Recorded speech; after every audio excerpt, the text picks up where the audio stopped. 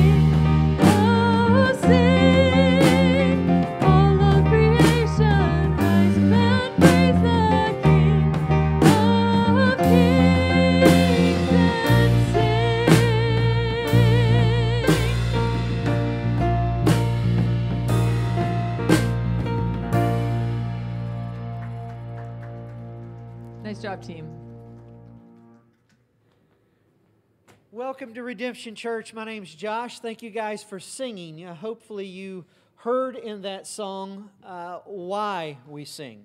We are commanded in the scriptures to sing and to worship. And if you're like me, you don't just roll in here on Sunday ready, ready to do that.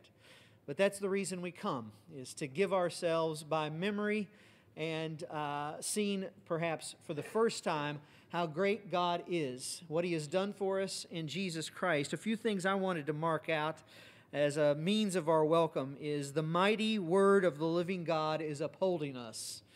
So you've come for that this morning. The Father's love has filled our longing hearts with grace for every need. We don't come to earn His favor, we come to receive His favor.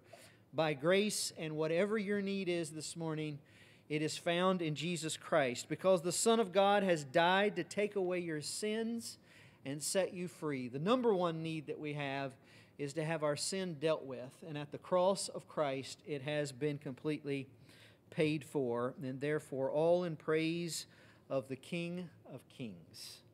Welcome to Redemption Church. That's what we're all about here. And we're going to get after the Lord some more here in singing. God, bless your people this morning. Bless your word as it goes out. Bless uh, the prayers, receive the prayers of your people as we come with our desires, with our questions, with our emotions, all submitting them to your power and to your plan and your, your provision for us.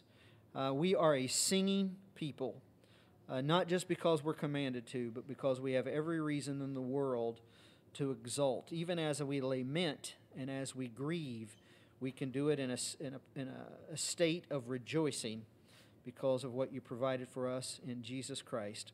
And Redemption Church said,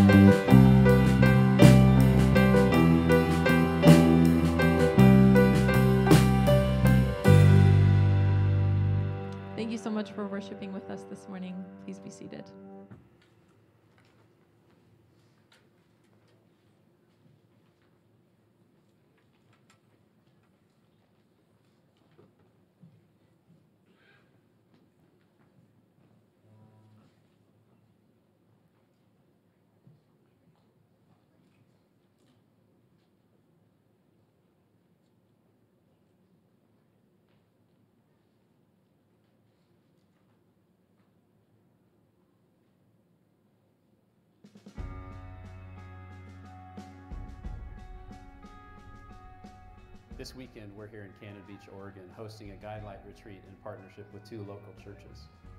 Throughout the weekend, we focus on God's Word and a time of teaching and encouragement for families experiencing disability. We run a kids program. We have directed things for the, for the parents. It's an enriching and encouraging weekend, and our pursuit is to bring biblical hope and practical help to these families, but doing it alongside the church, doing it to encourage them to continue on uh, and become a part of the body of Christ if they aren't already. I didn't know what to expect when we were coming here, but as soon as we came here, it's the love, the the people, the atmosphere here is just wonderful. I definitely felt like okay, we're coming to a retreat, taking a break. It's amazing because I've been able to connect to uh, many moms too, and just other families, and all the conversations and the preaching the word of God that we've heard here, and conversations with other, other families, and just encouraging each other, praying together, and it's been like a ref- refreshing for my soul. We're not alone. It's good to talk with other families how God working in their uh, everyday life, the challenges that they have, and how they overcome those challenges. having the help with the kids and just time to recollect. I didn't realize how much I needed this. It's a struggle, but he um, he gives you just enough to get through. One of the most important things we do here at Guidelight is gather these families together under the encouragement of Scripture and the promises of God. As these families are encouraged by the gospel and strengthened by the Word of God, we want to send them out after this retreat to encourage other families. And we want them to do that in a church setting. So we not only come alongside the church, but we act as a a discipleship ministry to plug these families into good Bible believing churches so they can continue on with this disability ministry that maybe we have started the journey on them with.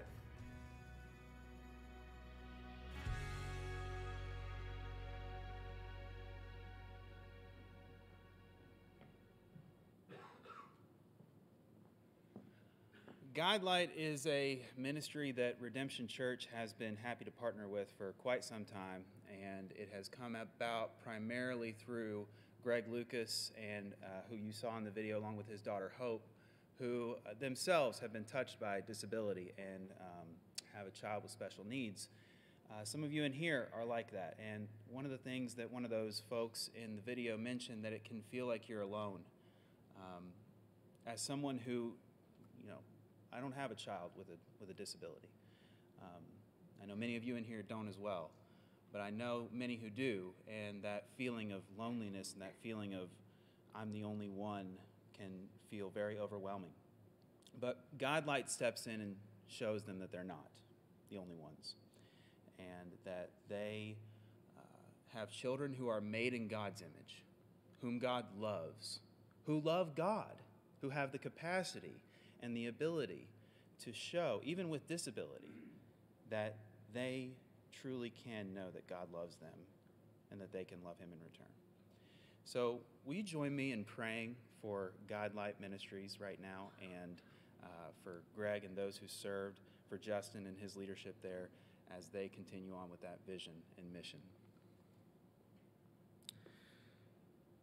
Heavenly Father, thank you for people made in your image, who we might consider less abled, less cognitively abled, less physically abled, less uh, in whatever capacity that they are marked by. Thank you for them. Thank you that they are made in your image.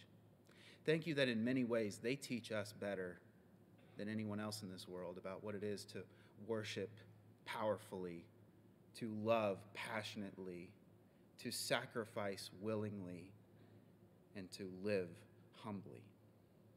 Thank you for Guidelight Ministry, for Justin's vision to see families who are affected by disability in one way or another come together, receive care for their children for whom they receive perhaps sparse or uh, inconsistent care at times, and to be able to hear the word of God proclaimed to them, which says that their children are loved, their children are bought, their children are redeemed, even by the blood of the Lamb.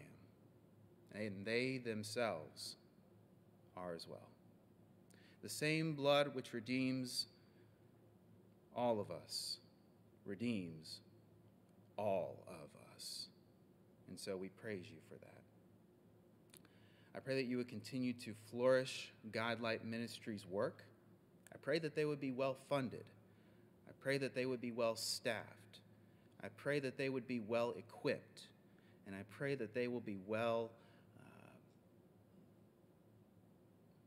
well served by the leadership, the volunteers, the staff that make it up, and that in so doing, we would see lives changed because of them. Thank you for Greg Lucas.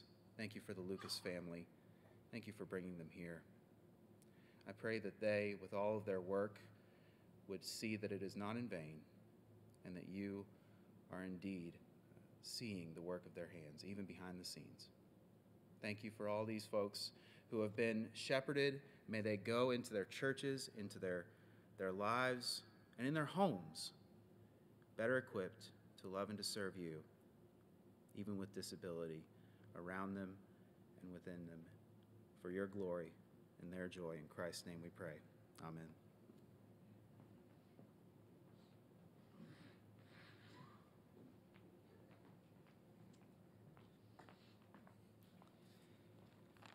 Well, today I have a message that is as important a message that you will hear in the Christian life. Because it is a passage of Scripture and some words from Jesus that will not only cause you to reflect on whether or not you're truly a Christian to begin with, and if you do come to the assurance that you are, in fact, in Christ, it will cause you to think deeply about how you're living and why you're living that way and the results that are coming about because of your lifestyle. If you doubt my hyperbolic rhetoric there, that maybe I'm being a little over the top just to get your attention and wake you up before I preach a sermon, uh, let me show you how Jesus feels about it. Turn to John chapter 15. That's going to be our passage where we read his words in verse 4 Abide in me, and I in you as the branch cannot bear fruit by itself unless it abides in the vine, neither can you unless you abide in me. I am the vine, you are the branches. Whoever abides in me and I in him, he it is that bears much fruit. And how's this for strong words? For apart from me, you can do nothing. Abide in me. He who abides in the vine, abide in me, and I in you. All language talking about the Christian life with that final phrase that should put a chill up your back if you're not abiding in Christ. That apart from Christ, you can do nothing. It occurred to me when I was thinking through what I wanted to say this morning, in particular that command that's repeated throughout the passage, that when Jesus started his public ministry, he began to teach and, and move about the people of, of his day, his first command was, Come to me. And some did, and the crowds began to grow, and before too long, his message shifted to, Believe in me. Don't just come to me and hear my words and see the things I do, but trust me with what I'm saying and what I'm calling you to be. And then he almost on purpose starts to thin the ranks by emphasizing that more difficult command that brings with it a cost. He said, Follow me. And when he comes to the end of his life, which is where we find him in John 15, the night before his crucifixion, with a handful of his closest followers, knowing that he is soon to pass off of the scene, he says some things to them that are essential. John 15 is a part of that, but he says other things that will prepare them not only to handle the shock and the grief of his loss, of the loss of his presence departing after his death and resurrection, but he wants to lay a foundation that will keep them stable and strong and empowered as they move through the rest of their lives and what he passes on for them to be and to do in his absence. And he, he says, it's, it's no longer just come to me and believe in me or to follow me. Instead, the command I want ringing in your ears for the rest of your life, and it has echoed down to today for his disciples now. I want you to abide in me. So he saves the best for last, maybe would be the way to think of it. Uh, we're only going to spend time in these first 11 verses this morning, but if you're going to really feel them and, and get the full scope of the context, I want to at least outline the chapter for you. Maybe you can take it up where I leave off and deepen your study because it is all connected. And you, if you read John 15, you, you can't escape the essential place of relationships that the Christian life is one to be lived in community, not isolated. We live in a very isolated culture and a culture that even celebrates rugged independence and strength. And there are some virtues to, to a, a self determined, ambitious attitude at times in, in its place, but it, it should never be untethered from people certainly not a relationship to our, our God. But we see in the first 11 verses that Jesus' focus is on our relationship with Him. It's vertical, maybe even internal, we could say. And he spends his time sort of working through that. When he gets to verses 12 through 17, he, he tells us to sort of look around horizontally and remember that we're also in relationship with other believers. And then in verses 18 through the end of the chapter, as if we could forget it, he calls to mind that we are also in a relationship with our world, our culture. Not the earth, the planet, but the culture in which we live. So he starts with here's what I say to you is in regards to your relationship with me. Here's what I say to you as regards to your relationship with other believers. And then finally, here's what I have to say in regards to your relationship with the world in which you live. Now, if I could go back through those through that outline by starting at the bottom of the chapter, in that last section, if you would want to fill out your outline, you might bracket off in your, your Bible those sections. And then next to that bracket, the key, there's a key word in each section. It's repeated for emphasis. You can't miss it. When it comes to our relationship with the world, see if you can see it. Our, the key word is hate. Uh, we're not to be hateful toward people. We are to love and people and made in the image of God. We're to serve them. We're to sacrifice for those around us, even those who are our enemies, Jesus tells us. But the defining attitude of the world toward us will be hatred.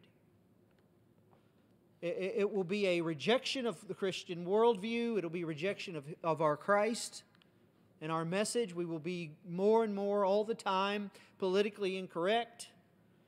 And even just our presence of lifestyle will be felt and perceived as a rebuke and a convicting presence.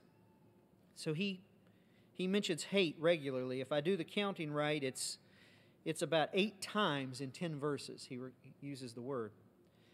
When you go up to the next section in relationship to uh, believers with one another, the key word is love. We're to love one another. He uses that about four times in six verses. And then when we get to our passage this morning, the key word is abide. Abide. He starts there because if we're going to love one another and if we're going to be able to withstand the pressure of hatred in the, in the world and, and with, with, uh, withstand our own nature to want to hate back, it all must be rooted in this relationship that we have with Christ. We must be in a constant state of abiding. So the dude was right. Right? We, we abide. And we can do that. Now, we'll do it a different way, of course. Let's go even further by making some general observations. Forgive me for being overly pedantic right out of the gate.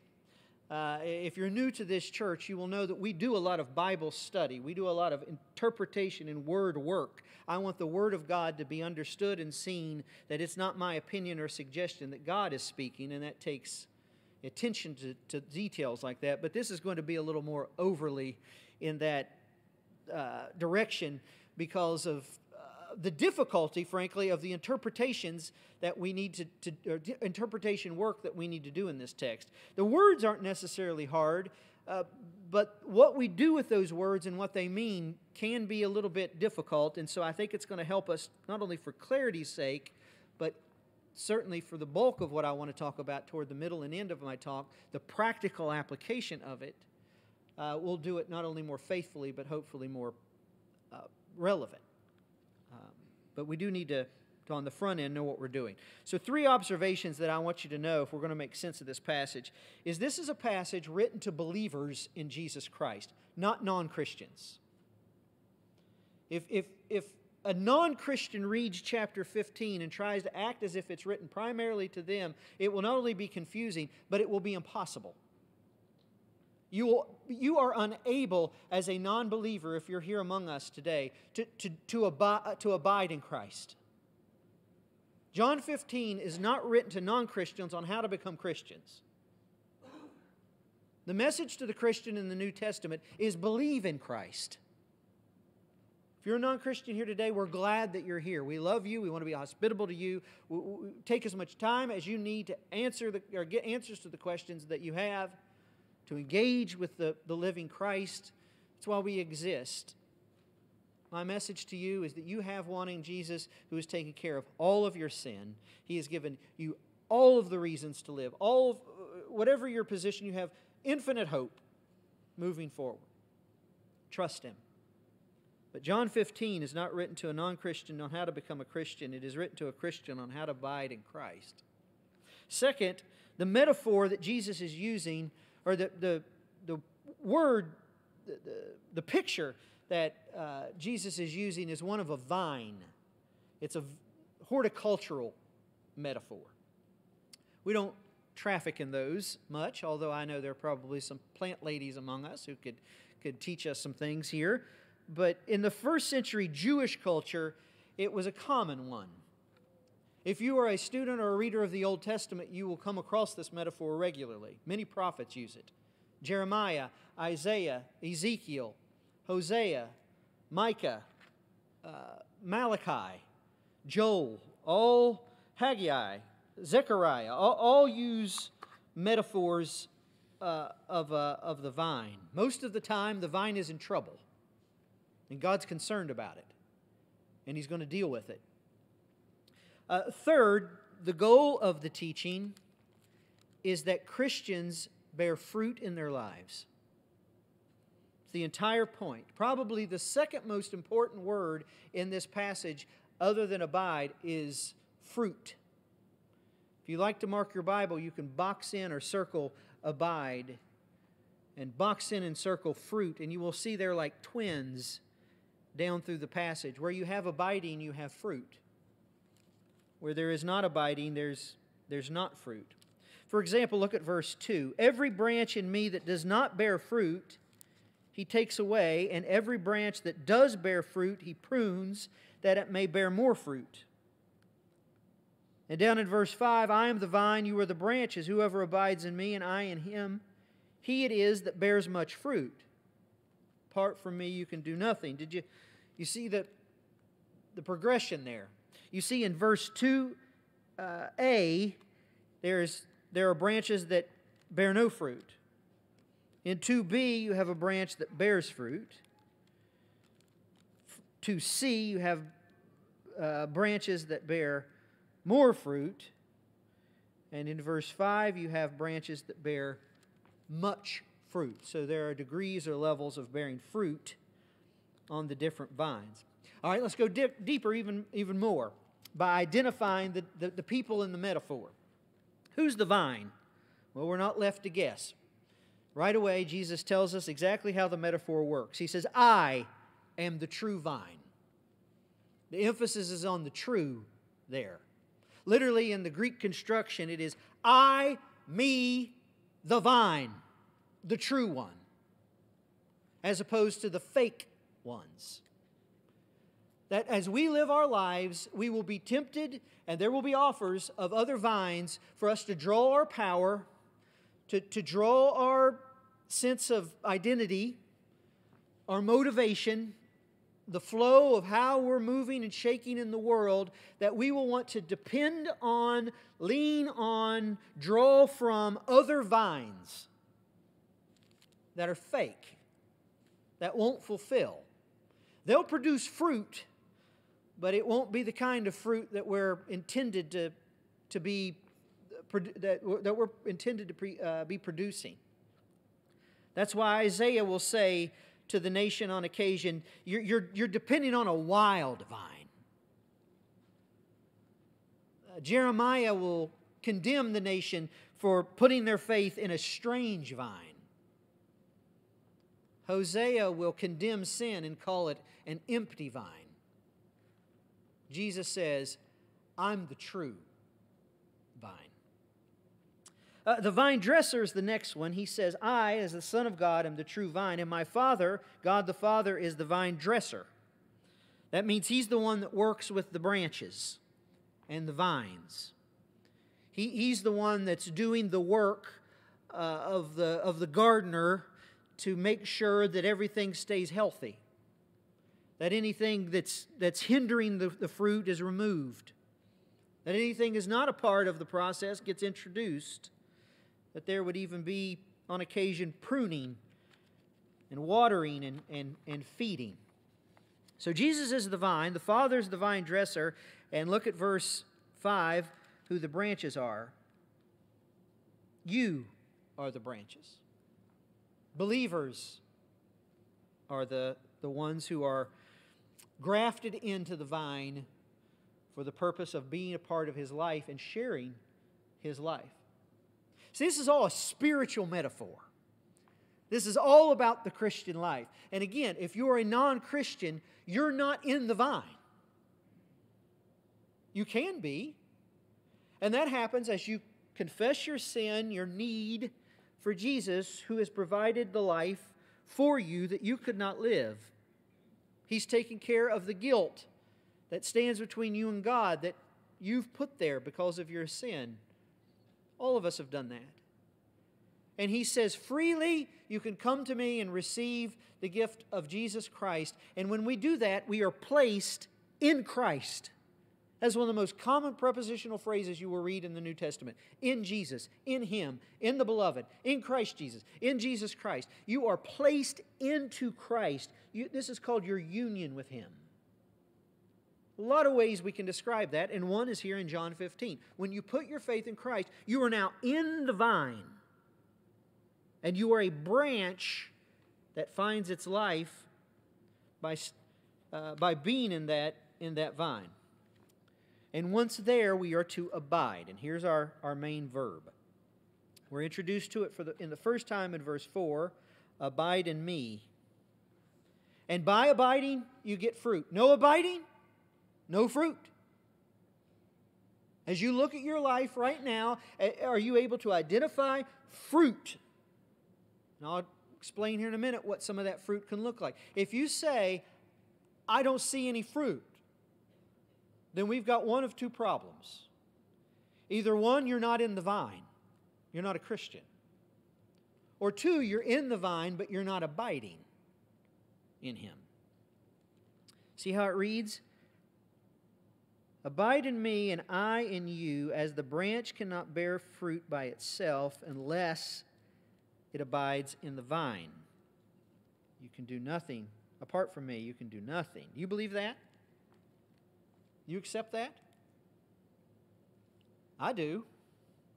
Because there's been times in my Christian life, personally, as well as a pastor, as I've served people within the church, in which I've tried to produce my own fruit, my own strength, and my own ability, my own effort, my own self determination, and good intentions.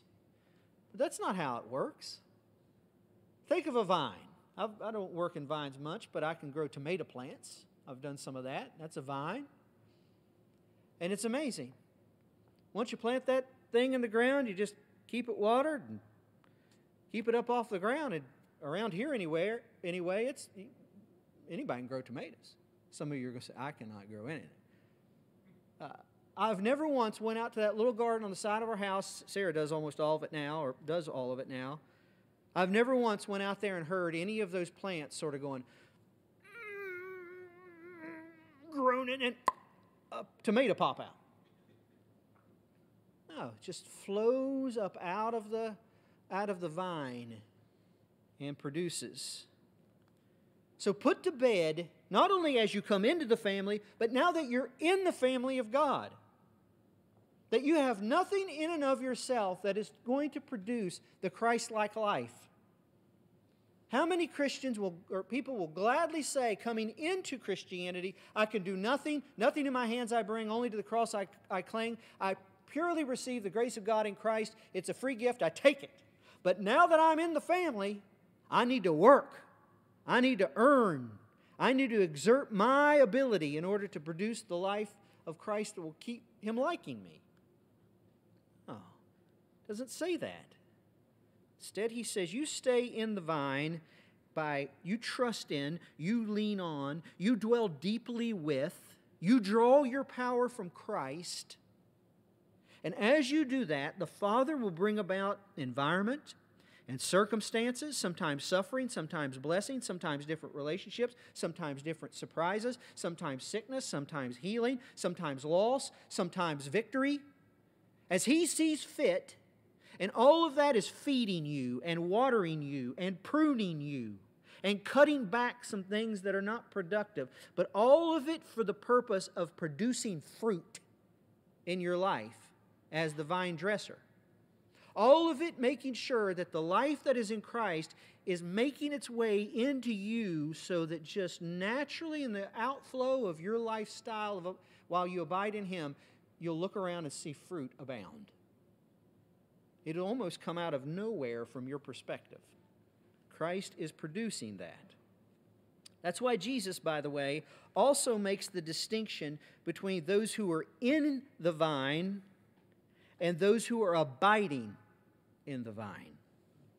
I see that as an important distinction in verse 2. Every branch in me, mark that, that does not bear fruit, he takes away and every branch that does bear fruit, he prunes, that it may bear more fruit. Go back again. Every branch in me that does not bear fruit. You know what that means? That means it is impossible to bear fruit outside of the vine. You have to be in him. But it also means that it is possible to be in the vine and not bear fruit. Some of you don't like that. I, I don't particularly like that kind of statement. I'm going to hopefully clarify it, uh, it for you here in a minute. But it's possible to be in the vine but not bearing fruit. This has everything to do, again, with that being your position in Christ. Everything to do with that. He's the true vine. When we are united to Him, we produce fruit only if we abide. If we don't, there's a problem, but we're still in the vine. Because I nowhere read anywhere in John 15 where we are commanded to be in the vine or we're commanded to be in Christ. We're already there. He already said, I'm the vine, you are the branches. Every branch in me that does not bear fruit. You say, why am I making a big deal of this? Because I know what verses are coming. Now, before I get to that, let's look at what the fruit is. What is this fruit? Does it mean people coming to Christ? Does it mean me doing great miraculous works? Does it mean me, uh, you know, never sinning? Oh, I think the best place to find a definition of this fruit is Galatians chapter 5. So hold your place in John 15 and go right in your Bible and find Galatians 5, particularly in verse 9. The Apostle Paul is describing the normal Christian life, and he uses a similar metaphor of, of horticulture, where there's fruit, there's sowing, there's reaping. And in verse 19, uh, let's just start. I have 19 on here. Let's read verse 23 or 22. But the fruit of the Spirit is love, joy, peace, patience, kindness, goodness, and faithfulness, gentleness, self control. Against such things there is no law, and those who belong to Christ Jesus have crucified the flesh with its passions and its desires. I think that means that crucifying the desires of the flesh, no longer depending on your ability, no longer depending on other vines, other sources of power to live the Christian life, and instead trusting in Christ alone and walking in His power and in His strength will produce that kind of Christ like uh, lifestyle. That's the, the fruit in which he, he's speaking. Now go back to John 15 and look at verse 2. Every branch that is in me, Christian, that does not bear fruit, he takes away now, you should have a question there, and I'm going to make a transa- translation decision here. That is not me playing fast and loose, but, but it, it's different than that phrase, he takes away. The reason I want to do that is because if you read that verse, you might think that means that a person is no longer a Christian. They're kicked out of the family of God. That they've lost their salvation, is another way you want to say that. Well, this word is airo, and it can mean not only take away, but it can also mean lift up. He lifts up. Every branch that is not bearing fruit, he lifts up, not takes away. Uh, it could be that, and there's an explanation for that if it, it was, but again, if I could go back to the tomato plant, uh, if a vine is on the ground, I don't throw it away, or a branch off the vine. I lift it up. I put it on a trellis, I put it on a cage, I tie it to a stake. I get it up off of the ground where it's being smothered or trampled on uh, or not getting the nutrients in one way or another, and I, I, I'm going to lift it up. I think that's what's, what he's doing there. Because nowhere in regards to God talking about his people in the New Testament does he say, I just kick them out of the family when they blow it. I disown them. I disinherit them. I say, get out. No, never does that. He's committed to our growth. He's the source of it, and as the vine dresser, he, he lifts us up. And in verse 3, seems to be another emphatic statement that he's talking to believers. Already you're clean. You're not unclean, you're clean because of the word that I have spoken to you. But my goal is, is even though you're a believer, we can have varying degrees of fruit, and it's my job to make sure that we do that, that I, I get that done. And that is uncomfortable. I take special note of this idea of Every branch that does bear fruit, he prunes. He wants more fruit. And pruning is uncomfortable spiritually. There's a big $100 word in Christianity called sanctification. It means you've been set apart for holiness, for godliness, for Christ likeness. You're, you're going to, uh, God is committed to your maturity, your growth. You're becoming godlier, more in line with your identity in Christ. And that every single time is uncomfortable. It means He's going to take you out of the familiar and take you into the unfamiliar. It means He's going to take something that maybe you like but is hindering you, and He's going to remove that from you. Or He's going to introduce into your life some experience that you don't want. That's true of any kind of maturity process, any kind of growth process. And that's a part of, of the pruning uh, process that he's, that he's about. And so we trust him. We trust him. And a, part of abiding is staying in that. Not wanting to remove ourselves because it's painful. No, he's saying, bide, stay, dwell deeply, remain. Yet we can live as if that's not true and we don't want to do it. And we bail. That's what happens in verse 5. Apart from me, you can do nothing. And we try to do it. Because let's face it, you're smart, you're gifted, you're skilled, you're good at it, or you think you are. And the more mature you get and the godlier you get and the more evidence of fruit, the more you can think, you know, I got this figured out. And you can stop depending on Christ. Before you know it, you're, you're off in the weeds. Galatians 5, you don't have to turn there, again says that when we were there, we produce fruit, but it's bitter and ugly.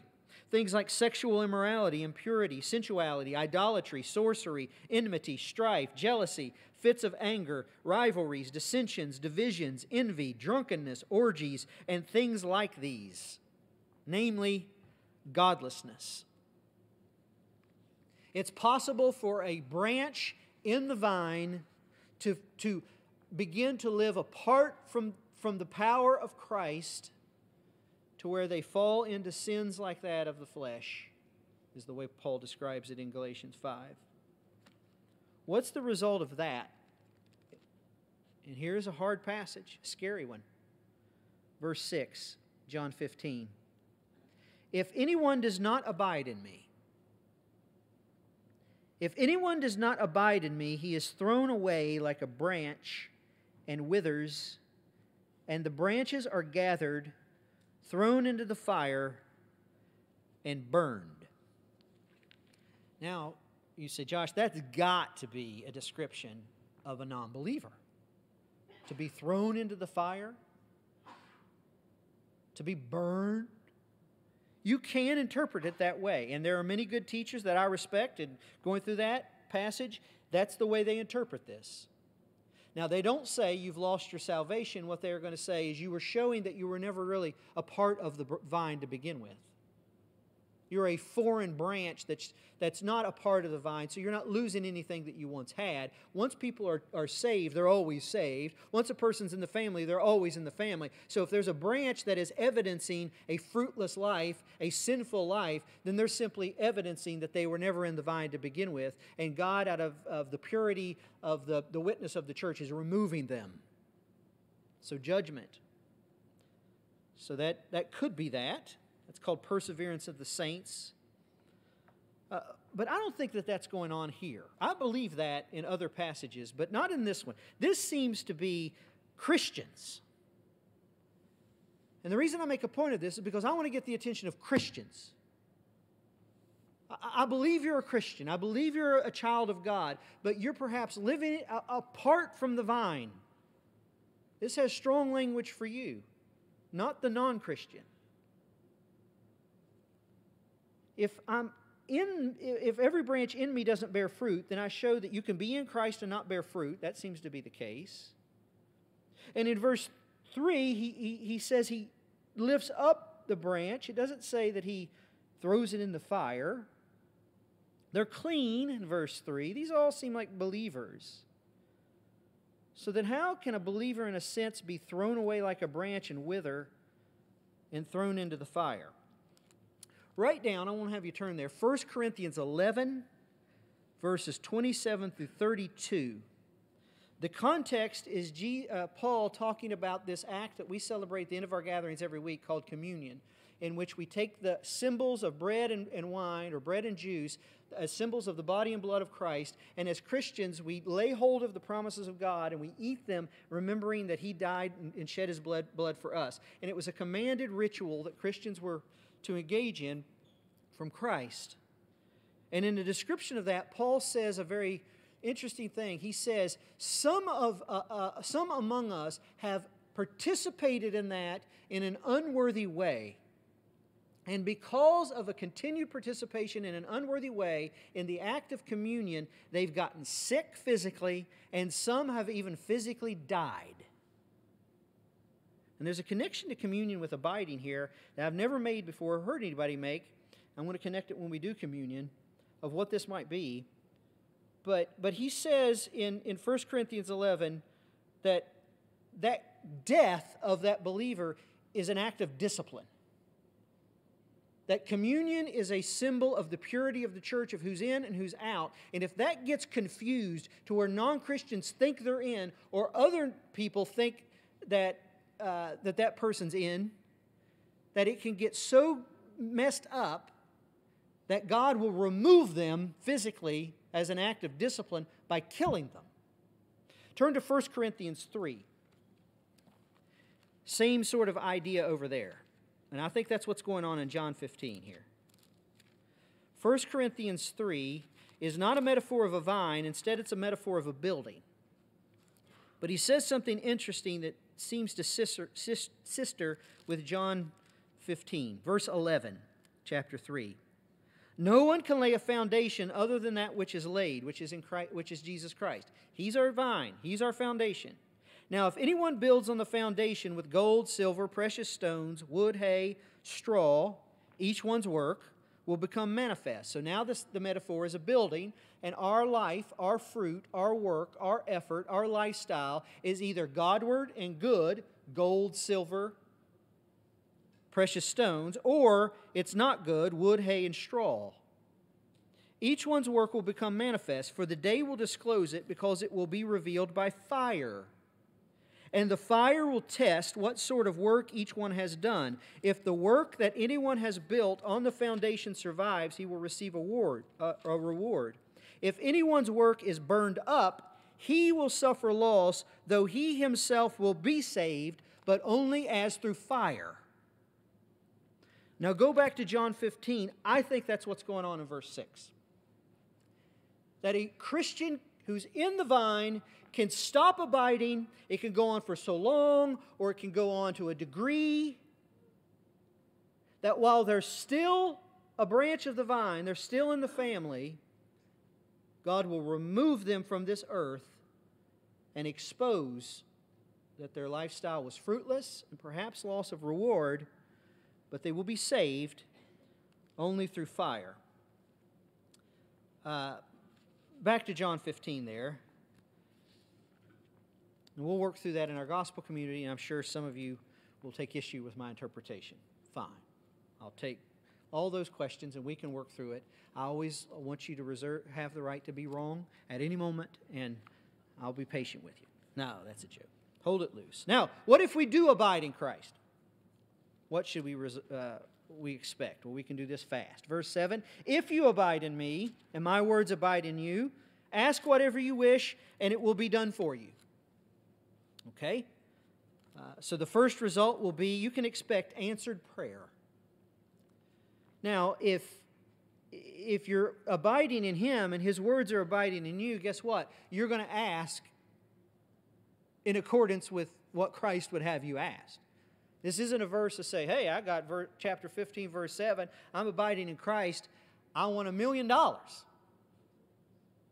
Well, hang on. Is that question or is that request coming out of your abiding in Christ? Or not?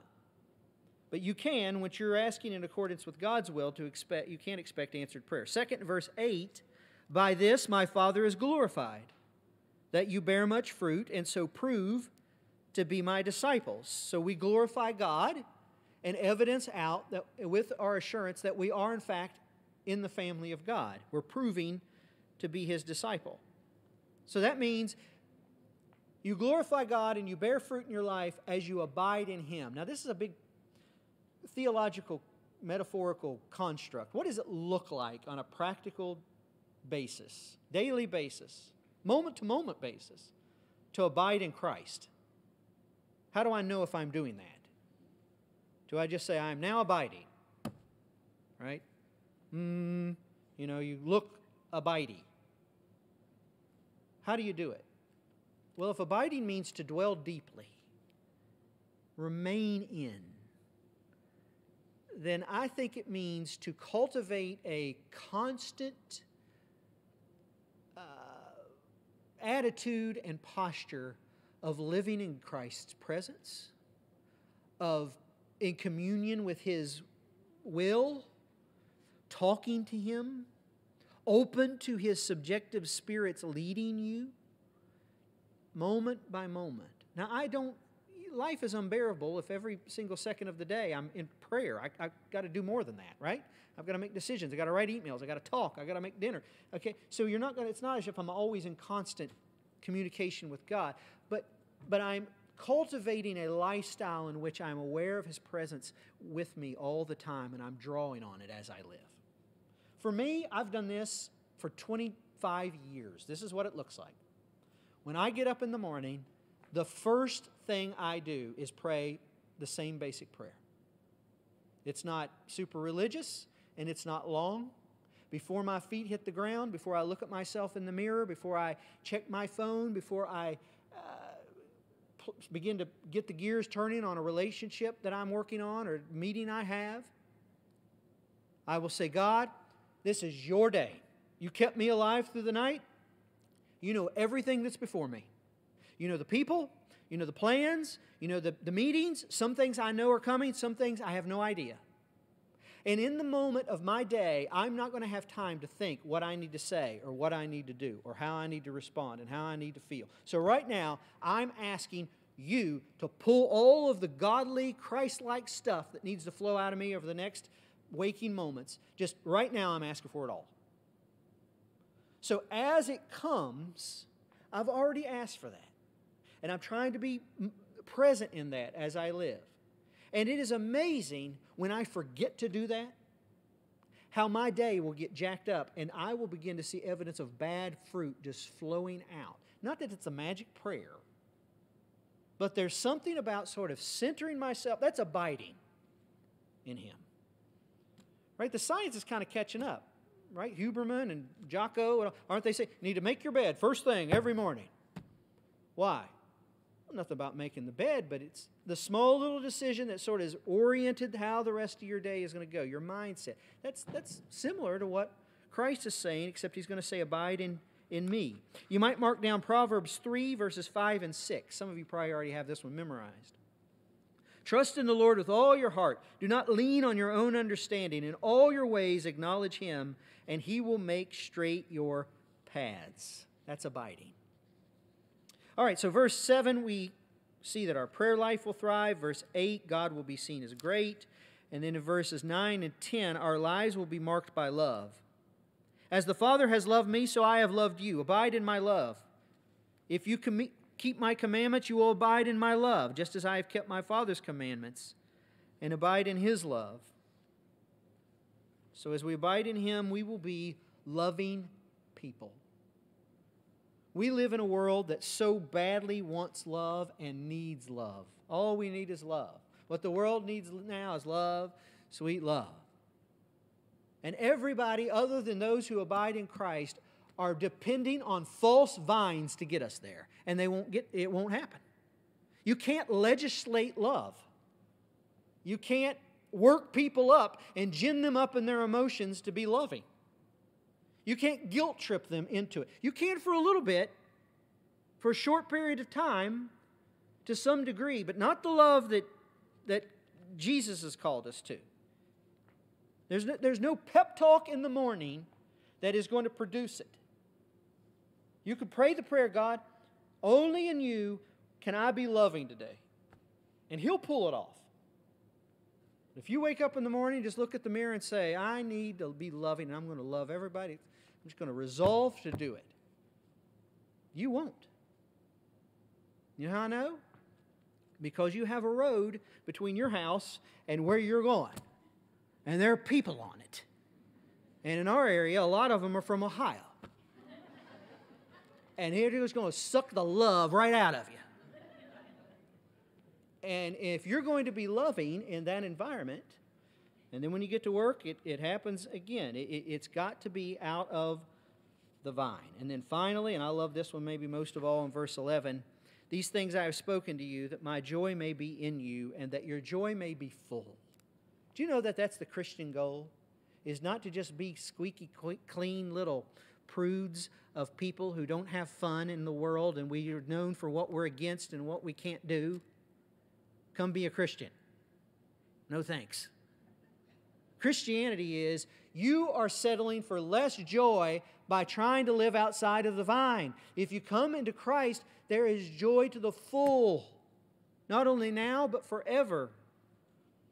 One of our Uh, authors we quote around here, John Piper writes The pleasure Christians seek is the pleasure which is God Himself.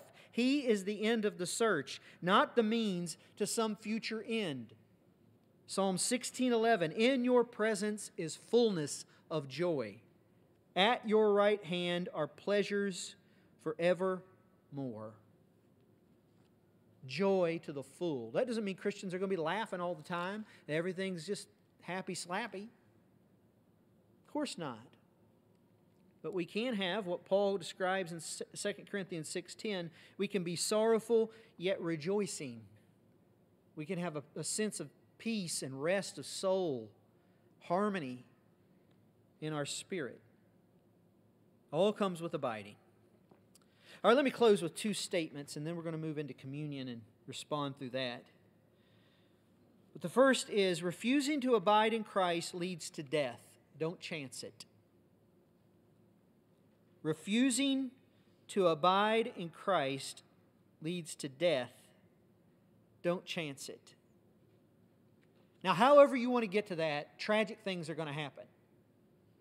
If you're not a Christian, then I'm going to say, of course, you're not abiding in, in, the vine because you're not in the vine. So you need to trust Christ and therefore get into Him.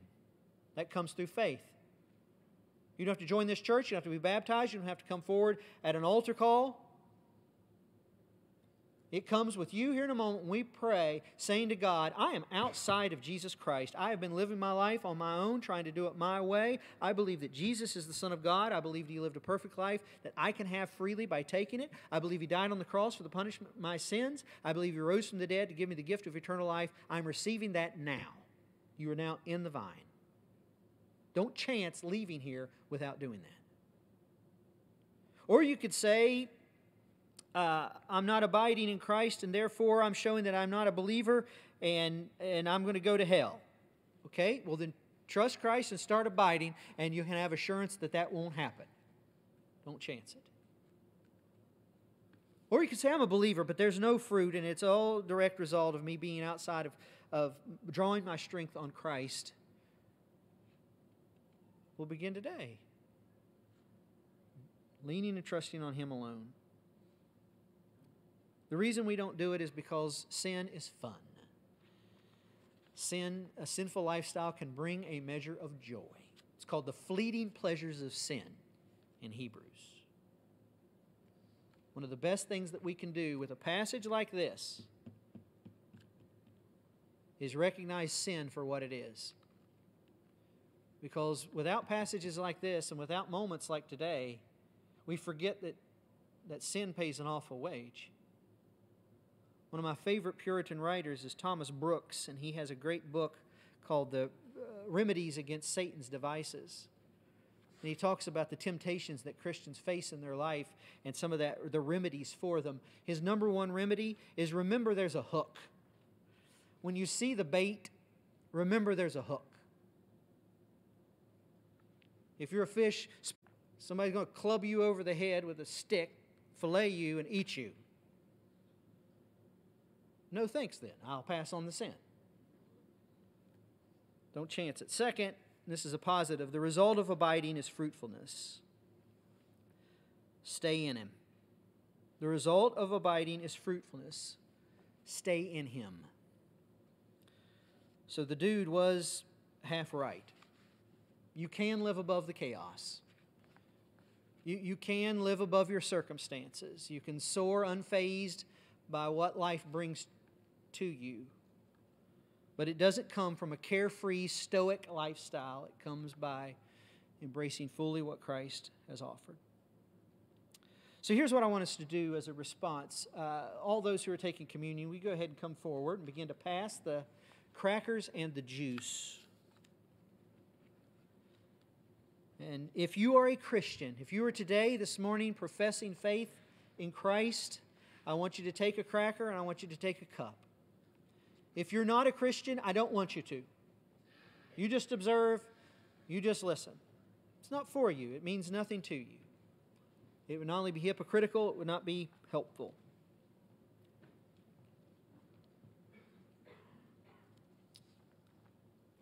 Go, go ahead and start passing those for me. And uh, one thing I, I thought of in putting this together as it, this, this comes to, don't take it yet, we're just going to hold it, sorry. And think you through this whole vine, fruit of the vine, in connection with people taking communion unworthily and dying is Matthew chapter 26. We have 26, verse 26. We have a passage where we, we hear about this ritual in which we're about to engage. It says, As they were eating, this is the same night, by the way, that he taught John 15. As they were eating, Jesus took bread and after blessing it, broke it and gave it to the disciples and said, Take, eat. This is my body.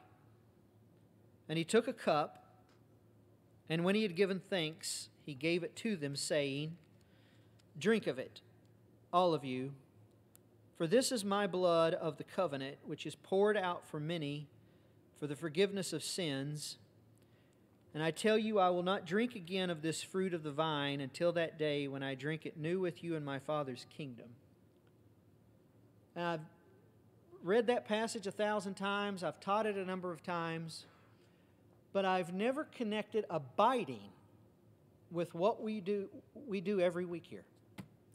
I've always said th- this is a symbol that allows us to make sure that the cross of Christ is central in our gatherings, that we lay hold of His, His provision.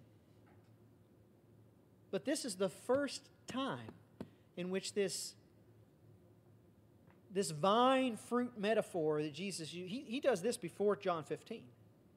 They've just taken communion when he tells them to abide in me. And what does he say? Your relationship with me doesn't come by you producing fruit in me as the vine. Instead, it, it happens as you receive the fruit of me as the vine, that you take hold of it by faith. You even drink it. You internalize it physically, and at the same time, it's a worthy taking of it, is if you say, God, this is me repenting of not abiding in you. I am now, again, abiding in you. I'm returning to you. I'm drawing on your power as I go out this week. The fruit of your ministry, of your perfect life, I now take physically and spiritually into my body. I'm abiding in you now. And then I begin to go this week, out this week, and that fruit that we received in Him through the symbol of the wine, now works its way out into us, or through, through us. So we're almost done there, getting that passed out. And I'm going to have you close your eyes. Those of you who've received it, go ahead and close your eyes. I'll, I can talk to, to you, and then those who are taking this, the elements, just close your eyes once you receive them. Uh, I, I want you to feel the haunting thought of that statement apart from Christ, you can do nothing. I don't want you to just weasel out of that. Uh, the good news is, is that you need not be apart from Christ. Because in Christ all things are possible, and that is such a contrast to the world in which we live, in which they're accomplishing a whole lot of nothing, frankly. And I think I speak for all of us when we've had, a, had enough of nothing. We want something, and in Christ, we have Him. There's an old song that says, Jesus paid it all. All to Him I owe. Sin had left a crimson stain. He washed it white as snow. If you've never trusted Jesus, rather than take the elements, I, I want you to know the joy of life that comes only in Christ, and I want you to receive Him now.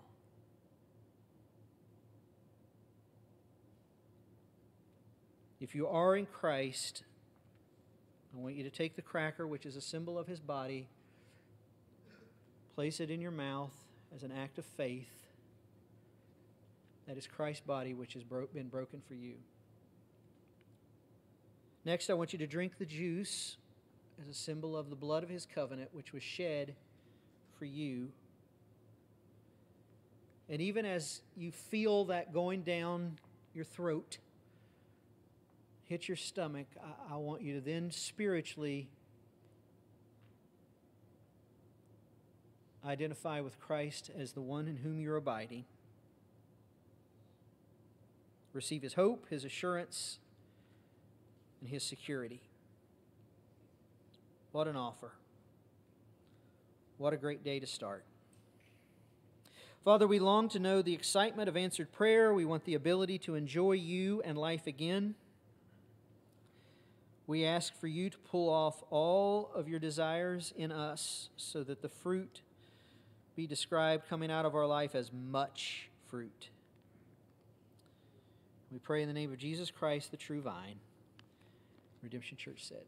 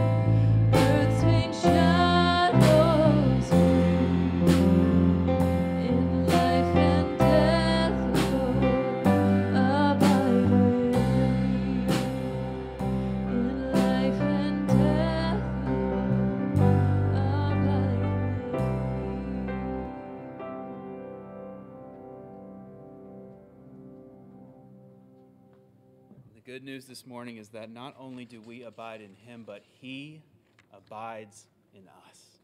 That's great news this morning. My name's Rory. I'm one of the pastors here. If you're new and wanting to connect, there's two ways to go, about doing that. There's the Connect cards on the seat backs in front of you. You can fill out, take to the Connect desk up front, or you can scan the QR code on the back of your bulletin and fill out the uh, Connect card online that way, and someone will be in touch with you this week. Stretch out your hands. Oh, we got a potluck out there, so go get some lunch. Meet somebody new. Shake hands. Kiss necks. All that good stuff. And eat. And then stretch out your hands and receive this benediction. Now may the Lord Jesus, the true vine, who will supply us with everything you need, be our true source of strength, nourishment, and hope. May we see ourselves as Jesus sees us, as true branches who can do nothing apart from him, and may we draw all power, all goodness, and all life from him. Go now from this place, abide in Jesus, and find everything you need in him.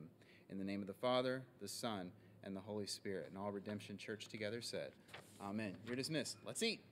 The